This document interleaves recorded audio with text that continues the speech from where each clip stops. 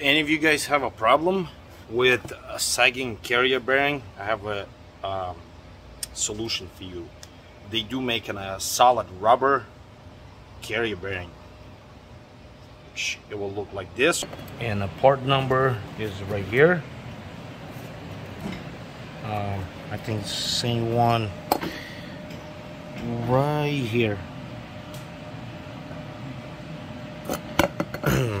in our application on a detach. When you're back underneath the trailer something needs to take a force because you're stalling out the drive shaft. And this guy right here it takes all abuse so it's nice to have a solid rubber. That way when the drive shaft it has a give but not much and it doesn't sag as much I would say. The only one problem they kind of a little bit more rougher than the regular ones. Um, and Spicer does make them. Not everybody carries them because they don't put them at the factory.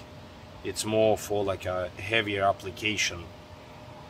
Uh, but they work very well if you go off-road or you have a lot of off-road takeoffs like in a in a soft ground I would say like you log in a I don't know how what the proper way to name it but you log in it uh, when you take off so that's the way to go. Thanks for watching.